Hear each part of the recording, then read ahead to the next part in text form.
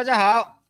欢迎来到我们科学馆哈。我们今天是一个大声吧讲座，那我们当然要大大声声讲科学。为什么我今天要讲普通话呢？因为我们哈今天很荣幸邀请到呃来自高雄科学工业博物馆的苏芳怡助理研究员为为我们讲授一个题目哈。这个题目呢，呃，我个人觉得是非常有趣的，最少它肯定能够把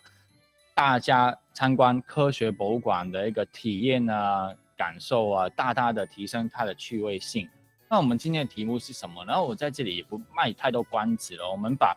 我们接下来的讲座这个地方，然后还是那交给我们的苏芳怡研究员，欢迎苏芳怡研究员为我们讲授。呃，今天的题目从科学博物馆迈向智慧博物馆，欢迎苏芳怡研究员。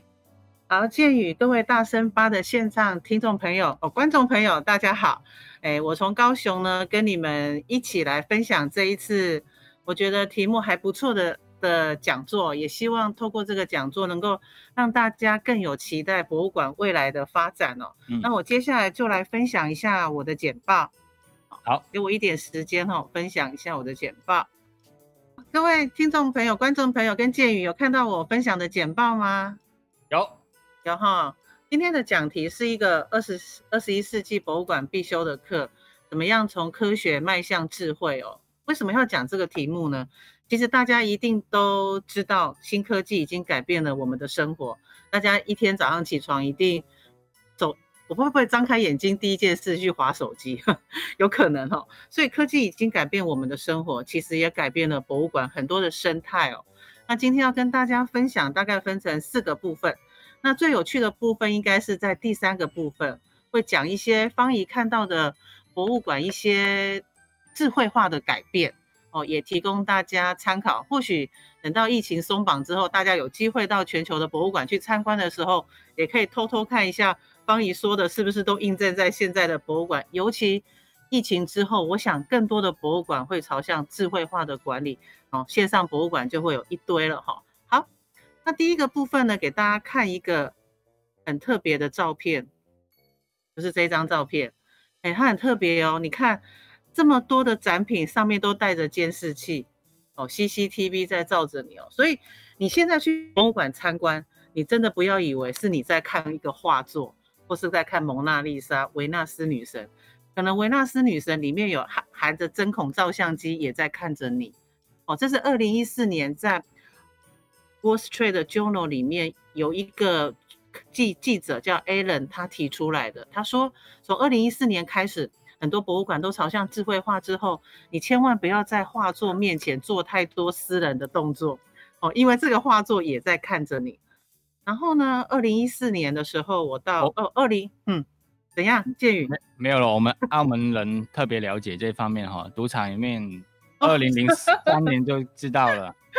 是哦，所以千万不要在那边挖鼻孔，或是做一些亲密的动作哈。好，那二零一七年呢，我到大英博物馆参观的时候，我租了一台 Audio Guide，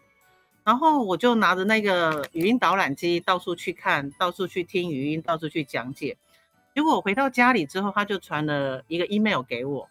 哦，告诉我我在八月二十号早上的时候去了，然后我看了四十七个展品。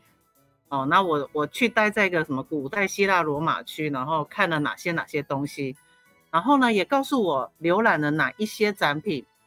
哦，那这些展品在他们博物馆当中的一个占比的区域，我在绿区当中是最多的哦。所以你看，我租了一个六块欧元，六块欧元的的语音导览之后，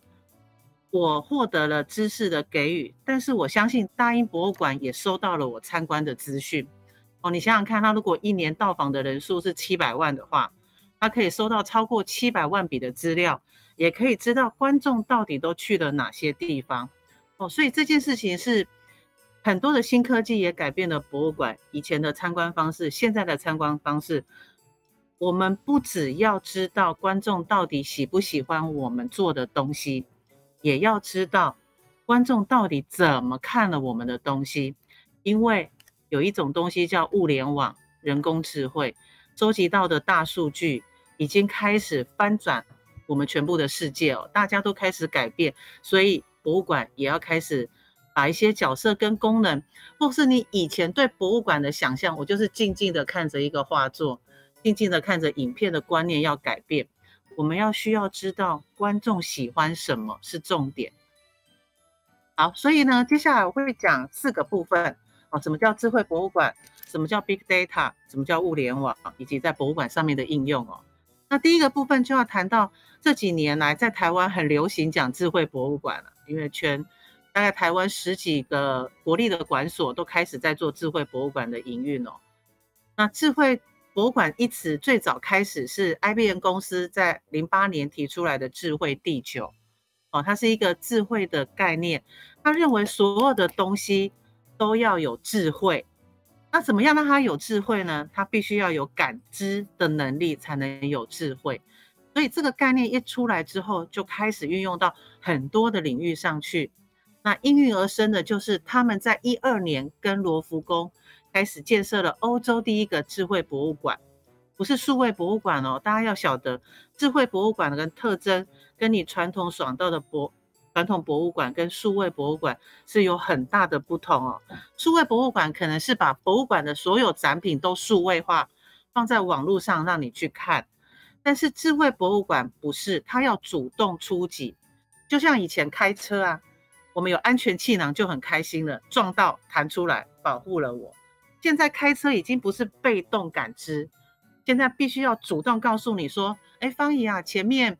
前面有车祸，你要赶快。”改换一个路线去走了，不是等到你走到车祸那里来说啊，不好意思，那我们来听听音乐消磨时间。所以要主动出击去做，跟数位博物馆非常的不同。所以罗浮宫开始了有智慧博物馆这个计划，开始在做。所以罗浮宫的很多藏品，他们有很多收藏品嘛，开始走向智慧的管理。哦，然后罗浮宫也布建了很多的我们叫做 beacon 的东西。也在收集所有参观民众来的动线，然后他们的藏品管理有更智慧化的方式去处理温度啊、湿度等等的东西哦，所以这是一个非常重要的一个一个进步哦。好，那我们要怎么定义一个智慧博物馆？我刚刚说了，它跟数位博物馆不一样哦，它必须要在一个物联网的架构，意思就是说，所有东西必须要有智慧，要可以感知。然后传到的资讯送到云端，哦，因为要储存它嘛，它送了那么多资讯来，送到云端之后，我透过人工智慧去演算，然后产生了很多的数据。那这些数据，博物馆的人就要去分析它好用不好用，不值得参考，然后进一步去做智慧化的管理跟推荐。哦，所以我看从展品到人之间，透过了 data 的传输。可以更多的多元的资讯的交换的运用，所以简单来讲，智慧博物馆很重要的就是主动出击、主动感知，而不是被动的接收观众喜欢什么、不喜欢什么，要针对这个观众的特质去推荐他喜欢的东西。哦，这是智慧博物馆非常重要的一个在人观众中间要走的一个一个规一个规范。好，那台湾把智慧博物馆。定义成这七个重要的功能，哦，它必须有云端的应用，然后最重要的是希望客制化个人的体验，然后希望做很多 AR、VR 的互动展示，然后更重要的是智慧的服务跟智慧的环境。哦，你来参观博物馆，可能需要温度跟湿度控制的很好，那符合你的个人化体验。哦，比如说你喜欢什么？我就应该要主动告诉你，可以去参观什么哦。这是台湾对于智慧博物馆的一些指引。那我们这几年就是疯狂的在做这件事情。我讲疯狂哦，我们要想办法把我们的服务做得很好。我不晓得澳门这边在购买票券上面是不是都已经很智慧化了？台湾这边哦还没有，台湾这边还是很习惯拿现金跟信用卡出来。哦，那我们澳门有一点点智慧化了。真的哈，台湾用那种什么来那种，就是除了信用对说信用卡跟现金以外的支付方式，还是没有很多元，而且民众也没有很特别的习惯。我在博物馆观察，我看所有的家长还是习惯排队我们即便有那种自动售票机嘛，他们还是不习惯去买，还是希望去拿现金，而且也不是拿信用卡出来刷，是拿现金出来缴。哦，那一些行动装置的支付方式，更不用说大家会习惯出来拿出来用哦。所以，但是我们还是必须要必须要走，因为智慧化的服务还是未来一个很重要的趋势。所以我们这几年都在强力的改。变这样的票务的部分，然后在展示方面做很多很多的改变，不要只是看，看看看按按按而已。我们希望是有更多元互动的体验哦，而且我们还希望可以主动推波一些观众适合他的资讯给他，提供他来参观哦。所以我们预计有八年的时间哦，要把科公馆这个部分做一些改善哦希望下一次你们再来的时候。一百一十四年，希望那时候没有疫情，大家来到科公馆的时候会享受到一个非常智慧化的服务哦。这是台湾目前在做的智慧博物馆。不过哈，方怡，我觉得，呃，我们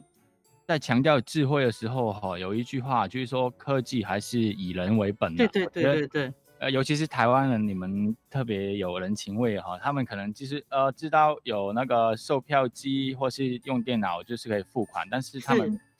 就是可能是。那一种人与人的互动，还是我觉得还是有它的意义存在啦。对，我觉得，对对对，因为 台湾最美的风景就是人嘛。对对。所以，我我在猜啦，观众喜欢在服务台透过人去问买票券，也是多想要多知道更多的资讯，然后也得到比较好的服务啦。哎，对。但是时代在走的趋势，博物馆还是需要有一点改变哈。那接下来，接下来就谈一下那个大数据分析哦，data。analysis 的这个部分哦，那当然就是大数据这这个词汇是在一九九八年，因为网际网络的出现之后，出现了大量的资讯，资料量非常多，所以学者就给它一个统称叫做大数据。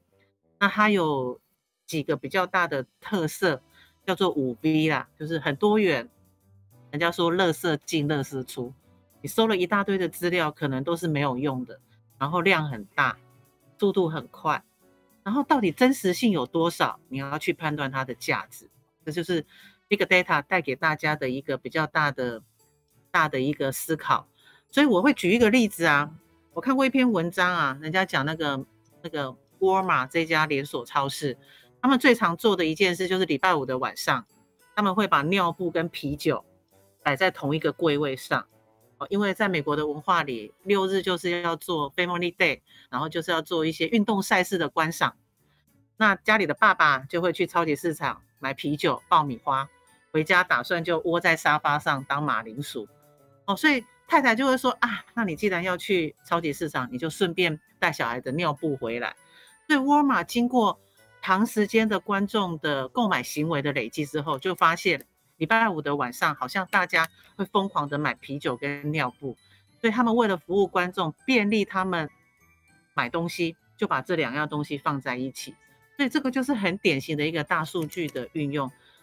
让这个超商可以适时的反映民众的需求。哦，所以他的他收集了这么多资料，就做了一个价值的判断，把星期五啤酒跟尿布绑在一起。哦，这个是一个大数据的比较重要的例子，提供给。各位线上的观众朋友了解哦。那另外有二零零六年有两位两位学者提出来，他觉得人呐，从早上到现在，只要起床，每天走来走去，都会产生很多的数据出来。所以如果可以设置一些感应器来捕捉人类的行为，就是每天去挖掘它，会成为你很多工作上很重要的资本。哦，人每天嘛，一日三餐，食衣住行娱乐。哦，他可以做一些潜在的行为分析哦，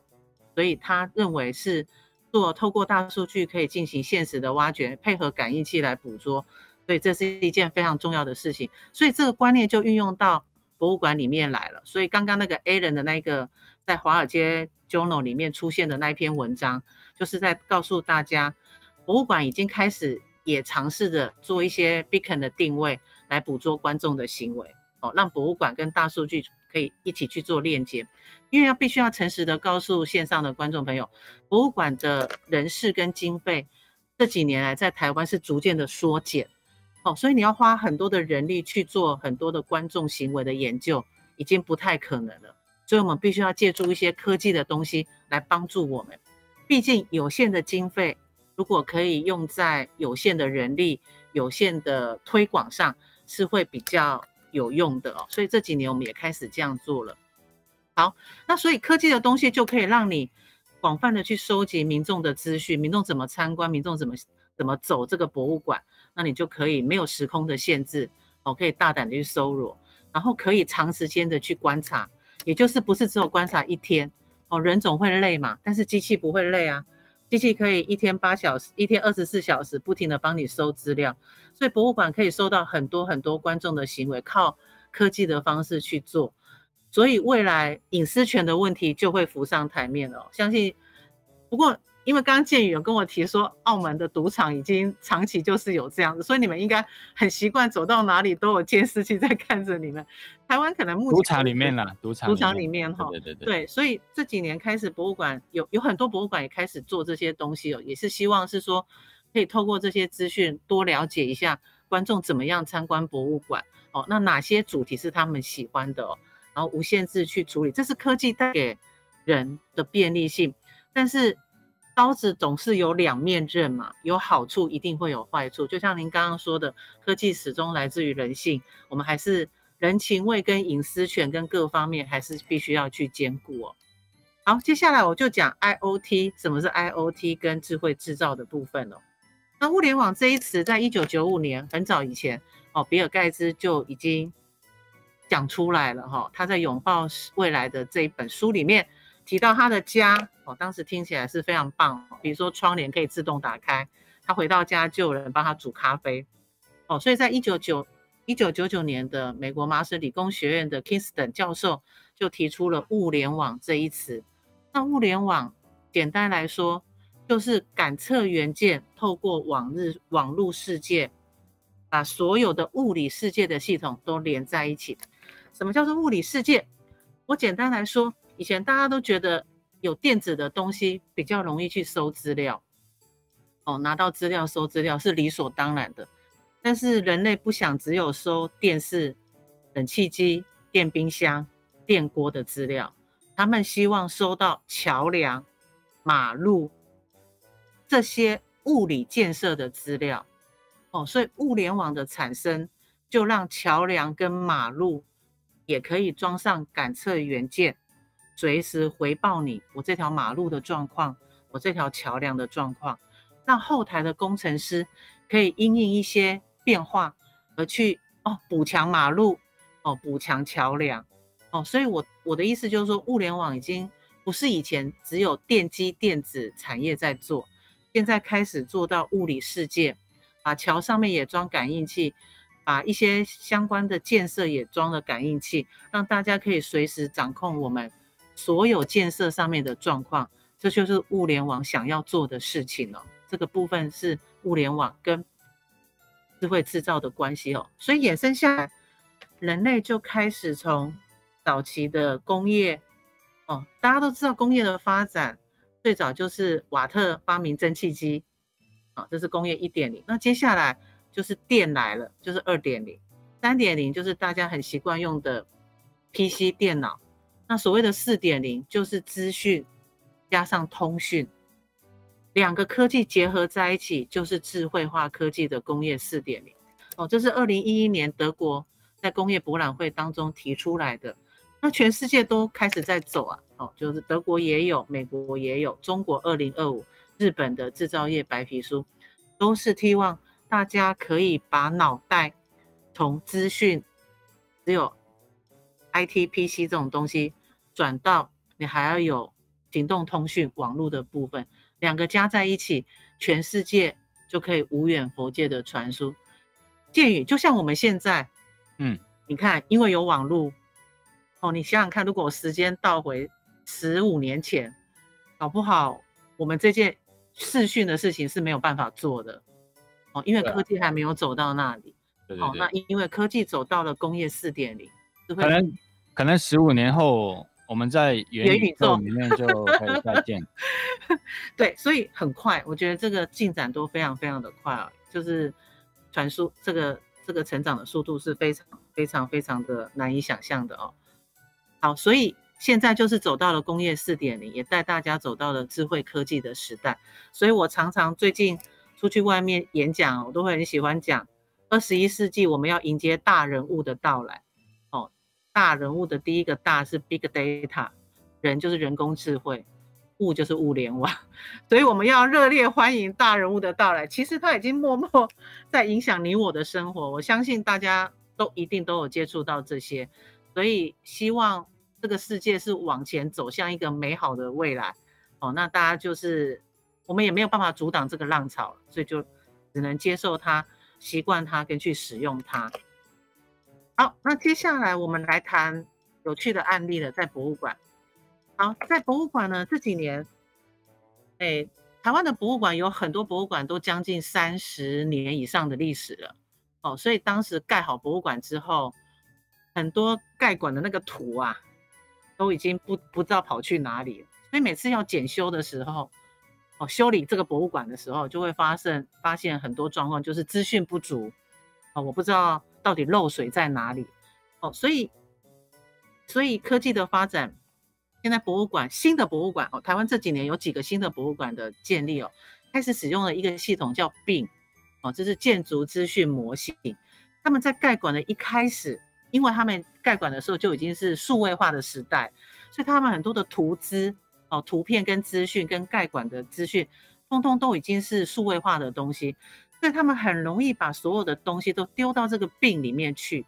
哦，所以它可以提供维修的人员。很容易就查找到你到底哪个地方出了问题，哪个地方的电不足，哪个地方漏水哦。所以这个资建筑资讯模型在台湾会在基隆的海洋科技馆里面已经建构完成了哦。他们做的非常好，前几年还有得到台湾的一个奖项哦，表示他们建构了这个系统之后，把他们的节约能源的部分做到非常好。你看。他们馆里面人均用电量从八点度八点零七九度降到三点一三三度，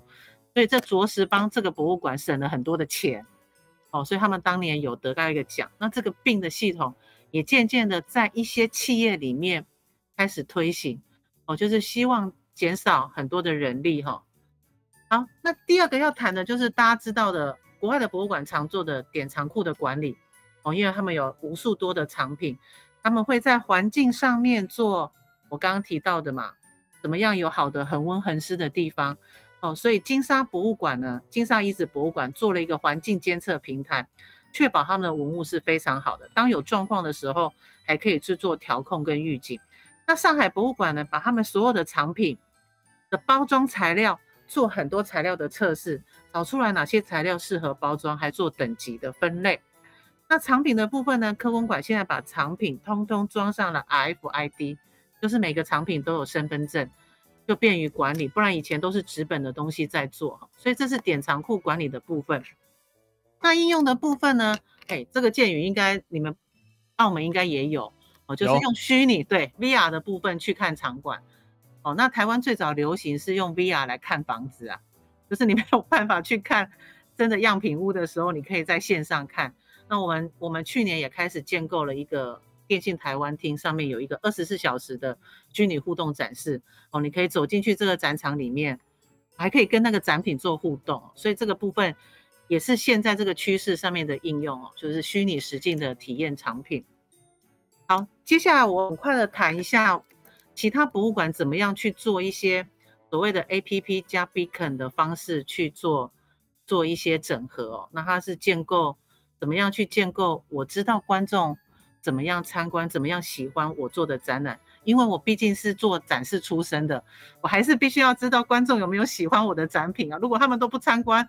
我就没投入了，你知道，我逃了啊，白白意就是我的工作就会就会被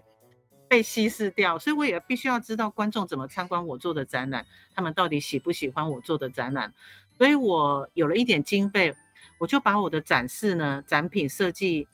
有 Beacon，然后利用 APP 的东西，哦，去收集观众怎么样参观，然后分析他怎么样怎么样行为，然后去改善我的展品。那它简单的方式就是所有的人都要下载 App，哦，我必须有一个参观的 App，我才能知道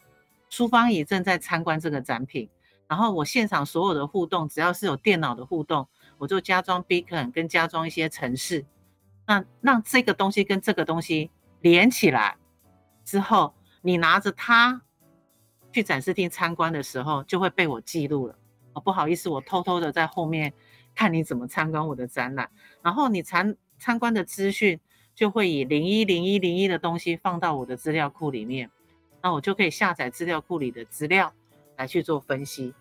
哦，这就是我简单的粗浅把把行动装置跟感测元件跟展示品把它结合在一起做的一个案例。哦，那这个案例在台湾。也有其他的博物馆正在学习，他们也是很想知道到底观众有没有很认真去玩我做的展品哦，他只是按一下就走呢，还是说很认真的去把我所有设计的内容通通都去看完哈？所以这个也是因为 IOT，因为智慧博物馆的出现，我们开始做的一些尝试。哦，那我就是连接了这么多的展示厅，那比较特别的是哦，哎。线上的观众可能有人没有到过科工馆，科工馆很大，然后它从地下的三楼到六楼都有展示厅，哦，所以它是一个跨楼层的博物馆，所以这个这个东西设计出来，我还可以知道观众到底从几楼是最常开始参观的，哦，因为他们会到这一二三四五六六个地方去参观，那它分别分布在不同的楼层，所以我透过系统也可以知道。观众的起始点到底是从哪里？他到底是向右走还是向左走？可以找出他喜欢的热点来哦。所以这也是一个蛮特别，它不是单纯只在一个展示厅里面。好，那还设计了一个资料库哦，我可以在后台看到观众到底怎么来参观哦。那每天的人流高峰到底在哪里？当然了，当然这其实不用测也知道，人流的高峰绝对是假日。嗯，假 日一定是最多亲子观众来的时候，我可以在后台看到哦，他的人的结构。那今天到底多少人来？但是必须要跟观众朋友说明一下，这个记录的也是有下载那个 app 的人数而已。如果你没有下载，我还是追踪不到你哦。如果你不愿意被我记录，你可以选择不要下载，然后我就可以看到每一笔资料都代表一个人的参观。哦，他要去大概二十几个展品参观完之后，我可以得到他的一些参观行为，一分表示他随便参观，三分表示认真参观。哦，那我就可以得到这样的数据去下载，然后去了解，还可以了解为什么这些展品都没有人参观。你有没有看到有些空白的？有啊，对啊，为什么没有参观？那还有还有，我曾经有发现有一个展品永远都只有一分。那有可能是那个展品坏了，观众怎么玩都只有一分，就是他已经很认真玩还是一，所以这些数据传来对我来说是有意义的，我可以了解这个东西为什么都只有一分，或是那些东西为什么都没有人要去，哦，那我就可以协同管理的其他的同事一起去了解发生了什么事情，所以这就回归到我先前讲的这些东西，如果要派人去现场做，肯定做不来，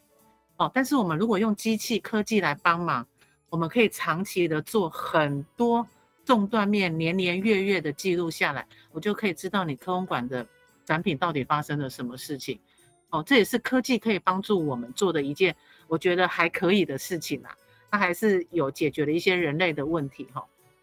然后也可以帮你算哪一个展品玩民众最常去玩，哦，哪一个展品观众最喜欢，哦，它都可以透过这样的方式去做，然后。然后你可以去做不同展示厅、不同展品的比较，是不是有 VR 的展示厅，观众一定特别喜欢玩？不是哦，哎，建宇，我要告诉你，不是哦，不是有 VR 就可以打趴所有的观众，一定都很爱玩 VR，并没有。我们最受欢迎的是一个主菜的单元，我们这六个地方啊，最受小朋友喜欢的是一个可以让小朋友当厨师煮菜的，叫智慧食品料理桌。嗯，你去那里可以选择一个食谱，摆上你喜欢的菜，然后虚拟的去炒菜，这是观众最喜欢。我里面有三个 VR，不见得是观众最喜欢的东西。然后呢，我透过这样的东西，我可以知道观众的即时资讯、相关足迹，然后作为我去分析跟会员管理，甚至知道他们怎么参观的一个比较。对我来说，对我的工作是有帮助的。好，方方怡啊，哎，我想问一下，你刚刚说最受欢迎的那个展品哈，因为我看到你那个 Beacon 有有记录他们的参观的年龄嘛，所以最受欢迎的展览厅那一个展品是小朋友做主导吗？还是小朋友？我们我们这个展品当中，哎，其实要简单讲，博物馆当中。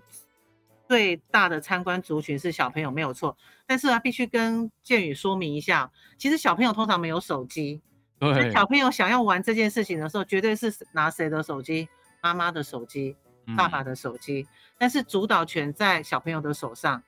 所以他们在填基本资料的时候，是以小朋友的的年纪去填的。所以我们在后台看到的，还是十二到十三岁，哎，十二，呃，国小，国小以上。国小以上到十三岁的小朋友是最多的，嗯哼，嘿，所以还是很很难讲啊。就我觉得还是脱脱离不了博物馆的基本观众，还是以学学生居多。哦，那现在看起来的统计数据是落在国小这一块的的学生参观人数是最多，这这也合理啦。哎啊，我觉得是爸爸妈妈把手机给他啦，嗯，我相信啦，嘿，不然爸爸不然就是。所以这也是大数据的一个盲点哦。我即便现在五十岁，我还是可以填十三岁，哎，你也查不到我。但是我就是相信数据给来的东西，我就是做这样子的分析，哎，对，所以他还是小朋友是最多。但是我相信手机是爸爸妈妈给他的。嗯，好，那最后我们就做一点小小的结论，因为时间也有点紧了哈。那我以两个观点来结束跟。所有线上的观众朋友分享，一个是科学的观点，哦，博物馆渐渐会以人为出发，服务观众是现在所有博物馆最重要的核心概概念。我们常常讲是观众永远是对的，观众永远是对的，我们只要让观众开心就好，就是我们博物馆最大的宗旨。好，那通过新科技，我们可以了解展品哦，或是活动。你的表达跟呈现跟观众之间到底有没有理解之间去做一些平衡？那当然希望可以量身打造，为不同的族群做最克制化的服务，但这需要非常长时间的会员管理，你才有可能有机会做到。而且这个观众要愿意，他每次来到博物馆的时候，都要把他的资料回馈给我们。哦，比如说我们现在收了这个会员，哈，我们讲最简单讲百货公司，哈，哦，像台湾的百货公司都很喜欢开发自己的 APP，App 非常非常喜欢，那他就是透过这个 App 来去看到你买了什么东西，哦，买了什么，你的发票都会在 App 上面，他都非常了解，然后会透过你的购买记录去推播你喜欢的东西，像本人常常被百货公司推播就是化妆品。哦，哪一个化妆品公司又有降价？欢迎你赶快来买，因为我的购买发票里面化妆品是最多，保养品是最多哈，所以他们也开始做这个，也是希望可以特制化的服务，达到这样的观点。但是我觉得要投入的资讯、人员、科技跟经费都非常非常的多。好，那智慧的观点就是刚刚跟观众一直分享的大数据的分析，乐色进，乐色出。所以他只要发现东西的相关性，不必追根究底。为什么？哦，其实明明有手机的是大人，小孩子没有，但是你的数据出来的全部都是国小学童。哦，那我们当然知道为什么嘛。哦，但是如果你深究这些原因，你就受不了数据。哎，所以你就只大数据的分析就是只要知道就是这样子了。哦，那这些东西就你拿去运用，你了解就好。哦，也不需要做很深入的什么什么去分析观众研究，不用去了解。那它比较好的部分是它可以大量收集，那这个资料一百万笔、两百万笔之后，它的资料就很可观，可以可以计算出一个趋势。哦，那这样的资料可能可以让博物馆的人去发现一些新的商业模式或是机会。哦，这是非常重要的。我们总要知道。互联网最大就是预测你的未来，那我们也希望透过这些收集的数据，可以更朝向智慧化的管理，为不同年龄、不同职业的人量身定做个性化的博物馆展示活动跟服务。哦，这就是我们为什么要从科学博物馆走向智慧博物馆非常重要的一个结论：克制化跟智慧化的管理。好，那以上就是我今天拉拉扎扎跟大家的分享了。希望希望一切，希望大家可以有一些新的观念，未来在参观博物馆的时候，可以从其他的角度去看。哦，抬头看看是不是正有摄影机在看着你。好，那以上是我跟大家的分享，哎，谢谢大家。谢谢方宇哈。哎，把时间交给建宇。哦，呃，那我们今天的讲座呢，其实到这里已经呃到此结束了。但是由于今天不是一个直播节目哈，呃，所以我们如果观众朋友们看完我们的影片，如果有任何的问题的话，其实随时随时可以欢迎你在澳门科学馆我们最新推出的一个 Facebook 的科普。专业那边可以呃提出大家问题，或者是我们 YouTube 的频频道里面也可以随时订阅、分享、按赞或者是留言，我们都会呃透过呃我们本馆呢或者是联络方仪，然后为大家去说把你们的问题，我们尽量给你一个很好或者是一些克制化的一个答案给你。对对对，希望大家就是透过这个呃题目吼让。下一次，万一再带小朋友或者是自己来呃呃科学馆、科学博物馆的时候，可以一边参观的时候，也可以了解到哎，科学博物馆背后的智慧哈。那我们今天的讲座哈，呃，我相信除了我之外，呃，就是呃大家有问题的话，随时留言，我们都会尽量为大家解答的。好，谢谢大家。好，谢谢今天的讲，谢谢谢谢，拜拜。下期大声吧，再见，拜拜。